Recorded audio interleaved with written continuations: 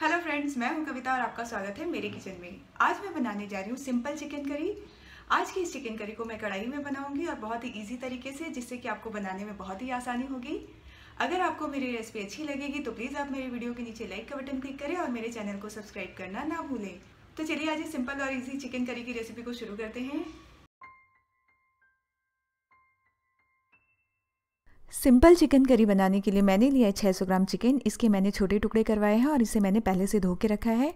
आप चाहे तो बड़े पीसेज यूज़ कर सकते हैं। चार मीडियम साइज़ के प्याज कटे हुए, तीन इंच अदरक कटा हुआ, बारह से पंद्रह लहसुन छिला हुआ, इन तीनों का हम पेस्ट बनाएँगे।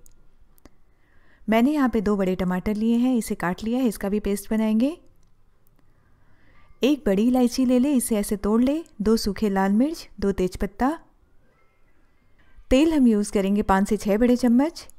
मसालों में हमें चाहिए एक छोटा चम्मच जीरा, तीन चौथाई छोटा चम्मच हल्दी पाउडर, डेढ़ छोटे चम्मच लाल मिर्च पाउडर, आधी छोटी चम्मच धनिया पाउडर, आधी छोटी चम्मच जीरा पाउडर, आधी छोटी चम्मच गरम मसाला और नमक हमें चाहिए स्वाद के अनुसार।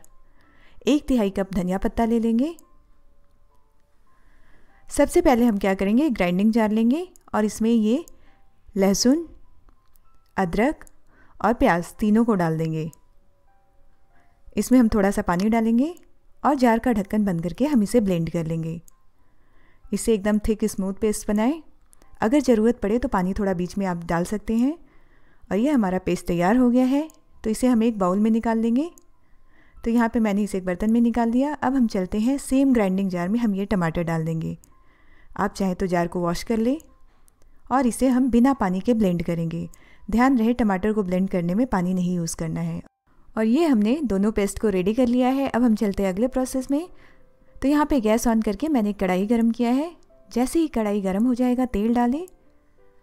तेल को अच्छी तरह गरम होने दें, क्योंकि हमें चिकन को फ्राई करना है तो तेल जब तक गरम ना हो चिकन ना डालें। और ये तेल गरम हो चुका है तो मैंने यहाँ पे चिकन डाल दिया। और इसे एक बार ऐसे मिक्स करें। चिकन को हमें कम से कम आठ से दस मिनट के लिए फ्राई कर लेना है।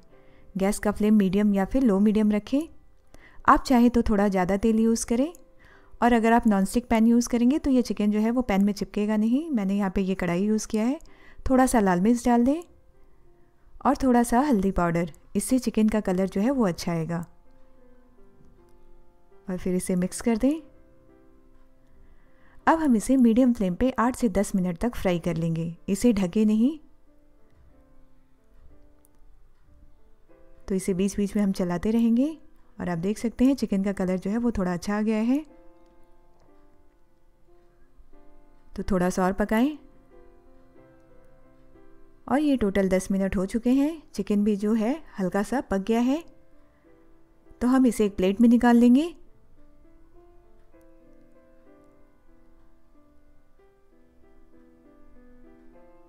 और ये हमने फ्राइड चिकन को निकाल लिया है प्लेट में। इसे अलग रख दें। और सेम कढ़ाई में हम क्या करेंगे कि वापस तेल डालेंगे। तो यहाँ पे वापस तेल डालें। आप चाहें तो कढ़ाई को वॉश कर सकते हैं। मैंने सेम कढ़ाई यूज़ किया है। तेल को हम अच्छी तरह गर्म होने देंगे। तेल से जब भाप निकलने लगे, तब हम इसमें ये सूखी इलायची, तेज़पत्ता और ये लाल मिर्च डाल देंगे। इन तीनों को हम मीडियम फ्लेम पे कुछ सेकंड तक फ्राई करेंगे। जैसे ही ये थोड़ा सा पक जाए तो हम इसमें ये जीरा डाल देंगे। और जीरा को हम पकने देंगे। गैस का फ्लेम मैंने मीडियम रखा है, अब हम गैस को कम कर देंगे, क्योंकि हमें तेल में हल्दी और लाल मिर्च डालना है। तो ये लाल मिर्च पाउडर डाल दें। तीखा ज़्यादा खाते हैं तो ज़्यादा यूज़ करें। हल्दी पाउडर डाल दें।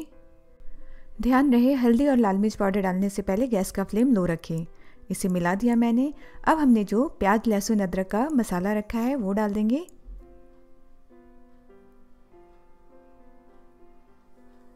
मिला दे इसे। गैस का फ्लेम अभी तक मैंने लो ही रखा है। और ये मैंने हल्दी और लाल मिर्च में मिक्स कर दिया। तो बाकी के मसाले भी हम यहीं पे डाल देंगे। तो यहाँ पे ये जीरा पाउडर डाल दें। धनिया पाउडर। अगर आपके पास चिकन मसाला पाउडर है तो वो डाल दें। उससे स्वाद और अच्छा आएगा। और ये मिला दिया मैंने इसे। अब हम पैन को कवर करके तीन से चार मिनट तक इसे लो मीडियम फ्लेम पे पका लेंगे। तो पैन को ढक दें और गैस का फ्लेम मैंने लो मीडियम कर दिया। इसे पकने दें। तीन चार मिनट बाद हम पैन का ढक्कन हटाएँगे। इसे एक बार मिक्स करेंगे। तो प्याज को हमने अच्छी तरह भून लिया है। हमने इस रेसिपी में प्याज और टमाटर कच्चा यूज़ किया है, इसीलिए इसे अच्छी तरह पकाएँ मसालों को। अब टमाटर का पेस्ट डाल दें। मिला दें इसे।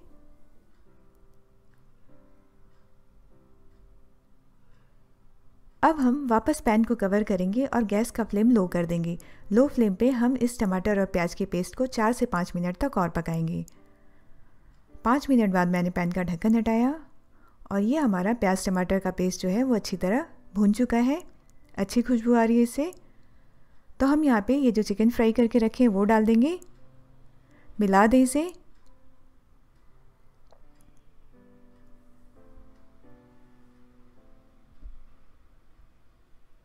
नमक डाल देंगे स्वाद के अनुसार। अभी तक हमने नमक नहीं यूज़ किया इसमें।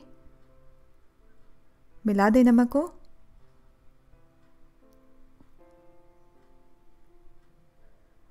और ये मैंने नमक और मसालों को चिकन में अच्छी तरह मिक्स कर दिया है। अब हम पैन को कवर करके 12 से 14 मिनट तक इसे लो मीडियम फ्लेम पे पकाएँगे। तो ये 12 मिनट बाद मैंने पैन का ढक्कन हटाया। इसे एक बार मिक्स करें।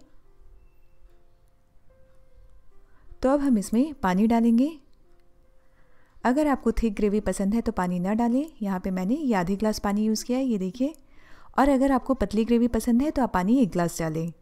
मिला दें पानी को।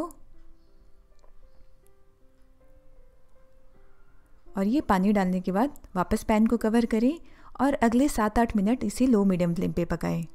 सात आठ मिनट बाद पैन का ढक्कन हटाएँगे। इसे एक बार ऐसे मिक्स करेंगे। अब हम इसे चेक करेंगे कि चिकन जो है वो पका है या नहीं। तो ऐसे फोक से चेक कर लें। ये चिकन पक चुका है। अगर ये नहीं पका है तो थोड़ी देर और पकाएँ। मैंने यहाँ पे गैस को ऑफ़ किया। और गैस ऑफ़ करने के बाद यहाँ पे मैं गरम मसाला पाउडर डालूँगी। आप चाहें तो गैस ऑफ़ करने के पहले भी डाल सकते हैं। मिला दें गरम मसाला को।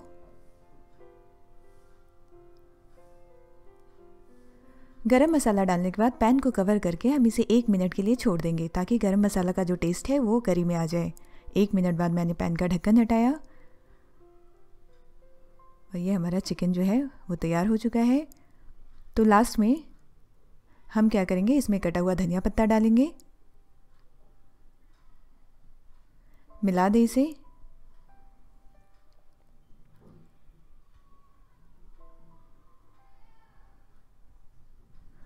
और ये हमारा इजी चिकन करी तैयार हो गया है। आप देख सकते हैं। सर्व करने के लिए मैं इसे एक बाउल में निकाल लूँगी।